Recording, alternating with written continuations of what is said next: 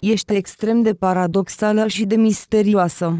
La prima vedere, ești un extrovert curajos și energic, dar o persoană mai atentă va observa în tine un căutător al adevărului, încântată de lumea misterioasă și mistică. În ciuda strălucirii extreme și a deschiderii, ai tendința de a aborda afacerile mult mai serios decât s-ar putea crede.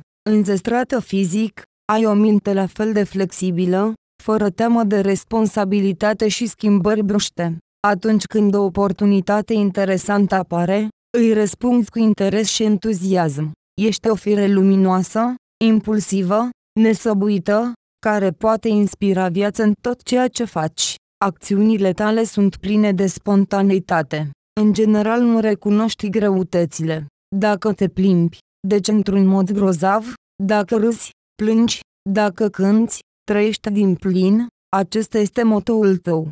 Cu toate acestea, o problemă este legată de esența internă, în practică, curajul tău aparent se dovedește adesea un ecran care ascunde o natură timidă, nesigură, predispusă să cultive suferința în sine, fără o urmă de regretate dedica prietenilor, muncii, familiei, copilor, tolerezi foarte dureros faptul că uneori trebuie să faci ceva în ciuda propriului tău eu. Semnul zodiacal vărsător este direct legat de semnele elementului aer, care se disting prin următoarele calități, aspirație pentru viitor, independență, loialitate, muncă neobosită, cosmopolitism, deoarece vărsătorul este controlată de două planete simultan, personajul tău se distinge prin ambiguitate impresionantă.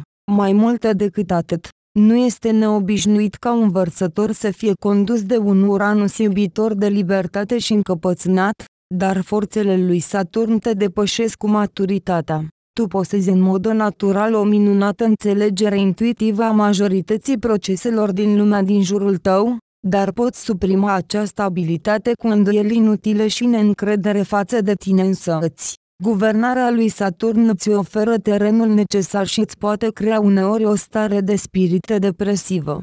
În același timp, Uranus înălțată te răsplătește cu spiritualitate intuitivă și capacitatea de a genera idei complet originale. Astfel, în anumite perioade ale vieții te găsești pe un fel de leagăn, ce pot varia la vârste diferite, de la starea de geniu excentric până la pragmatism excesiv de precaut. Este ușor de ghicit că principala sarcină de viața ta este menținerea echilibrului armonios. Emoționalitatea excesivă combinată cu imaginația magnifică te poate conduce către complexe de geniu nerecunoscut, iar tendința de a respinge ideile de rând ca fiind nerealiste, din potrivă, poate duce la oportunități ratate și la o viață prea plictisitoare. Dar, în general, ești o persoană prietenoasă și loială, luminoasă, puternică și plină de viață, care trebuie doar să țină cont de personajele complexe ale patronilor stelari și de influențele lor conflictuale. Planeta ta guvernatoare este Uranus. Aceasta determină progresul tău. Planeta este favorabilă pentru cele care descoperă noi direcții în artă. Planeta ta în exil este Soarele. Soarele este responsabil pentru lipsa unui nucleu intern, precum și pentru incapacitatea de a prioritiza, falsa ta afecțiune și lipsa de emoție. Universul te-a înzestrat cu o aură misterioasă, atractivă și complexă, controversată dar influența semnului pește este deja foarte puternică, iar acest lucru este resimțit de tine, ești mistică, misterioasă, cauți adevărul și, din partea altora, pari o persoană energică, curajoasă și sociabilă. Ești într-adevăr deschisă lumii, dar mai puțin frivolă, contrar opiniei dominante despre tine.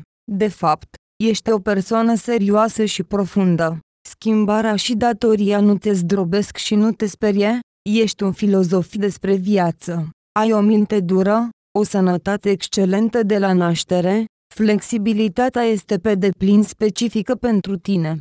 Nu vei pierde niciodată o șansă, nu alegi stagnarea și lenea în loc de o afacere nouă și interesantă. Nu îți place, și cel mai important, nu știi cum să pierzi. O înfrângere, mai ales una publică, este echivalentă cu moartea pentru tine.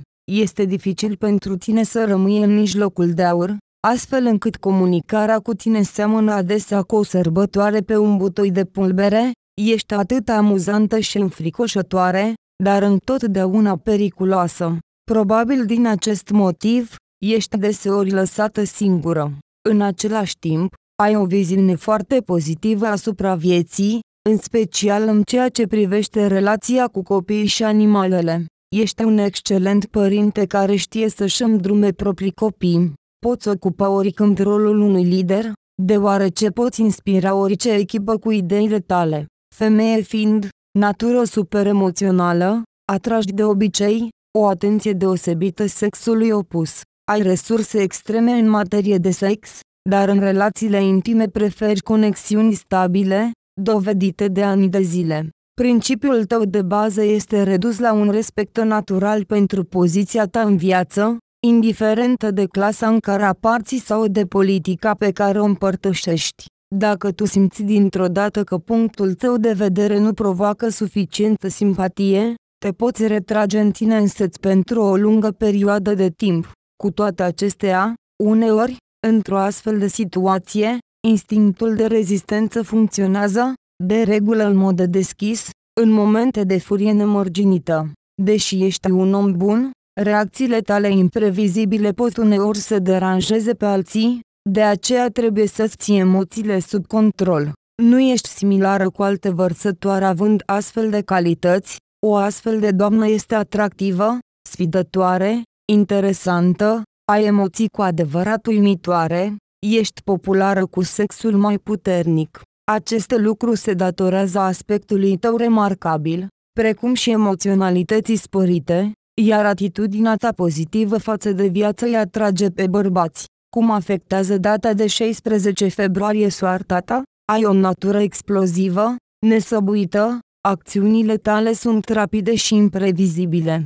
Când apari, totul începe să se miște, atmosfera în sine pare a fi electrizantă. Tu iei decizii repede, fără ezitare, și te grăbești să intri într-un alt proiect, cu capul înainte. Pentru divertisment și evenimente sociale îți dai întregul suflet. În activitățile profesionale, ești în plină forță. Tu nu cunoști limite și îndoieli. Cu toate acestea, în sufletul tău ești o personalitate timidă și nesigură, care are nevoie de aprobarea altora. În spatele cochiliei zgomotoase și fără teamă se ascunde un suflet subțire, vulnerabil, care suferă de o lipsă de înțelegere a celorlalți și de imperfecțiunea proprie. Îți dedici tot timpul liber familiei și prietenilor tăi, fără a lăsa un minut pentru tine. Dacă, pentru dragostea celor dragi, trebuie să treci peste tine însăți, aceasta va provoca un puternic protest în sufletul tău. Cu toate acestea, tu nu-ți poți schimba atitudinea față de viață, deoarece reputația ta este mai importantă pentru tine decât dorințele lor. Înfrângerea este grea pentru tine și obții victoria cu orice preț. Este foarte important ca tu să îndeplinești așteptările celorlalți și să nu-ți distrugi imaginea de sine. În viața ta, succesul poate fi înlocuit de eșec și nu ești conștientă de existența ta măsurată. Cei dragi trebuie să fie întotdeauna atenți, așteptând o catastrofă sau un accident. O viață calmă și stabilă alături de tine este imposibilă, ceea ce duce la dispariția potențialilor candidați pentru rolul partenerului de viață.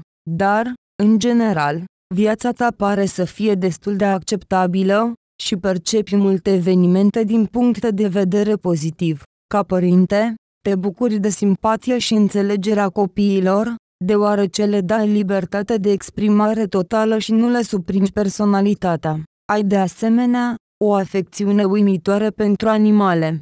Poți fi un lider excelent, deoarece poți să inspiri viața în cel mai inert angajat. Te bucuri de o atenție sporită a bărbaților, care este promovată de aspectul și excentricitatea ta strălucitoare. Ai o imaginație bogată în materie sexuală, deși preferi relații pe termen lung și stabile și devii puternic atașată de un partener. Linia corectă de comportament față de tine este de a te înțelege pe deplin și de a accepta principiile tale de viață, indiferente de poziția ta socială și de apartenența socială. În caz contrar, tu poți deveni complet închis în sine și nu reacționezi la stimuli externi. Este important ca tu să simți sprijinul celor dragi și ei să împărtășească idealurile tale de a lupta alături de tine. Dacă punctele tale de vedere asupra vieții nu se întâlnesc cu înțelegerea, aceste lucruri îți poate determina o reacție inadecvată, care nu este în întregime proporțională cu motivele. Dar, de obicei, ești destul de rezonabilă și echilibrată, astfel încât izbucnirea bruscă a furiei îi șochează pe cei din jurul tău și îi respingi pe acești oameni. Prin urmare, trebuie să scapi de energia negativă, direcționând-o spre muncă sau sport, dragoste și compatibilitate. Relațiile tale sunt o materie complexă. Poți scrie romane fantastice și poți să le dezactivezi cu un cuvânt. Foarte bună compatibilitate familială și dragoste ai cu semnele balanță, gemeni și săgetător. Cu acești bărbați ai cele mai mari șanse de a trăi fericită o viață de familie. Posibilă alianță favorabilă a căsătoriei cu Capricornul, Peștii și Berbecul. Șansele sunt destul de mari și sunt prezente. Dar în căsătorie, pentru o viață confortabilă sub un singur acoperiș, ambii trebuie să renunțe, la fel cum responsabilitatea ar trebui să fie reciprocă. Foarte puțină perspectivă și deloc de invidiat cu taur, fecioară, rac, vărsător, leu și scorpion. Șansele de a îmbunătăți relațiile de familie sunt mici, deși sunt, în general, căsătoria nu este fiabilă, este puțin probabil ca ei să fie gata să se schimbe singur și reciproc pentru binele comun. Locuri de muncă și carieră. Ești o fire extremă? Adesea nu cunoști măsura. Aceasta se referă literalmente la tot ceea ce se petrece în viața ta. Ești impulsivă, dispoziția ta se schimbă adesea fără vreun motiv aparent, dar ești întotdeauna strălucitoare și atrăgătoare ca o bijuterie misterioasă. Te poți angaja într-o muncă sau un hobby cu dăruire de plină și, așa cum se spune, cu suflet. Adesea nu poți vedea nuanțele și semitonurile, împărțind viața în culori luminoase și lipsite de ambiguități. Dar curajul și bravada ta sunt aproape întotdeauna o mască. Adânc în jos, ești un suferind mizerabil care are dificultăți să trăiască într-o lume aspră cu restricții. Tu crezi că ar trebui mai întâi de toate să faci totul pentru rude, prieteni, colegi, pentru alți oameni, înlăturându-ți mereu propriile dorințe și capricii, dar care se acumulează în nemulțumire, făcându-te să suferi. Această abordare a vieții nu este totuși în întregime corectă, deoarece subconștientul nostru nu este un lac pentru a aduna durerea, nemulțumirea, temerile, dorințele neîndeplinite. Odată ce toate acumulările negative vor trece prin baraj, sănătatea mentală și sistemul nervos nu vor fi la fel de bune. Poate că nu ar trebui să ai o poziție de sacrificiu și să acorzi atenție și dorințelor tale. Poți fi o actriță dramatică excelentă. Sănătate și boli. Având în vedere că data de 16 februarie te favorizează, trebuie să te avertizezi despre necesitatea unor exerciții fizice regulate, deoarece calmul și emoționalitatea ta tind să scape de sub control. Sportul te va ajuta să arunci excesul de energie și îți va fi mai ușor să te controlezi. Încearcă să nu mănânci prea mult, să fii mai des în aer liber, să renunți la consumul de alcool, să mănânci fără discriminare. Poți deveni un muncolog, așa că nu uita de odihnă și de somn. Vizitează medicii pentru examinări preventive, deoarece ești predispusă la boli cronice. Trebuie să fii deosebită de atentă la propria sănătate. Întrucât echilibrul mental poate fi supărată de tot felul de circumstanțe, este necesar să exersezi în mod regulat pentru a întări corpul și spiritul. Cu siguranță, trebuie să urmezi dieta potrivită, să mergi mai mult pe jos. Activitatea ta ar trebui alternată cu o dihnă serioasă. Soarta și norocul, ursitoarele ți-au hărăzit curaj, sinceritate și independență. Ești harnică, știi ce vrei de la tine la un moment dat sau altul. Ai o intuiție bine dezvoltată și aceste lucruri te ajută să faci pașii potriviți în direcția corectă. Abilitatea ta de a anticipa te ajută să fii întotdeauna pe linie de plutire și cu succes în afaceri, evitând situații și pierderi neplăcute. Te poți exprima în activitatea teatrală, în literatură, în artă, în căsătorie, poți fi fericită. În sfera materială, totul va depinde de capacitatea ta de economist ce ai câștigat. Sfaturi pentru tine. Tu ceri altora să-ți respecte și să-ți tolereze ciudățenia sau particularitățile. Confruntată cu negarea sau ignorarea clară a celorlalți, ești capabilă să te retragi, să devii închisă și tăcută, chiar mai mult pentru a păstra totul în sine. Nemulțumirea ta se va manifesta, ocazional, cu mișcări neașteptate de furie zgomotoasă. Bineînțeles, poți provoca dezaprobarea altora cu imprevizibilitatea ta și emoțiile violente. Ar trebui să lucrezi pe tine însăți și să înveți să te controlezi. Înțelege că nu toată lumea reacționează la fel de repede la viață ca și tine. Dă-le celorlalți timp pentru a trăi. Nu mai fi atât de posesivă. Ce cadouri ți se potrivesc? Este o plăcere să alegi un cadou pentru o persoană ca tine, dacă ești, desigur, o persoană care nu este privată de simțul umorului. Cu cât un cadou este mai original și mai neașteptat, cu atât vei fi mai bucuroasă. Chiar dacă primești ceva prozaic, designul nemenajat și prezentarea cu un subînțeles te va atrage. Deși, este mai bine ca tu să spui tuturor ce aștepți. Trebuie amintit că originalitatea darului nu înseamnă frivolitate.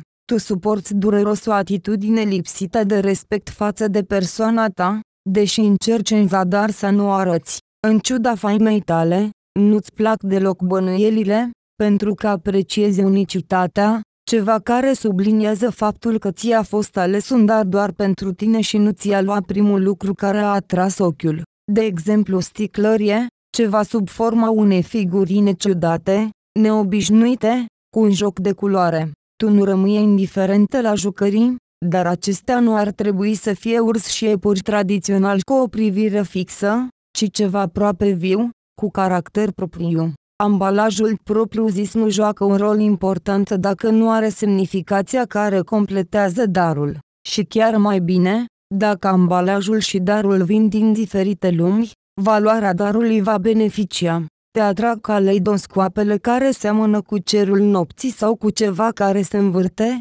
în care poți suspecta mișcarea lumilor. Există o șansă de a-ți scrie o melodie pentru tine? Ei bine, va fi cel mai bun cadou pentru tine. Dintre flori preferi cele mai delicate și mai fragile, lalele, iriși, narcise. Mare iubitoare de experiențe culinare, o carte mare de rețete și orice ustensile de bucătărie dacă se poate frumos colorate te vor bucura. Pentru tine frumos, poate însemna util, de aceea la alegerea unui cadou, cel ce ți-l oferă ar trebui să știe măcar care este definiția ta pentru frumos. Bijuteriile ar trebui să fie nu numai valoroase, dar și mari, stridente. Cercei de ochiați gen candelabru sau câinele foarte mari, broșe multicolore și încă ceva, să poarte o marcă cunoscută de tine. Acesta este un portret general pentru tine. Te vei descoperi cu adevărat într-o astrogramă natală în care vei afla predispozițiile pentru întreaga viață, așa cum ți le-au dăruit ursitoarele tale.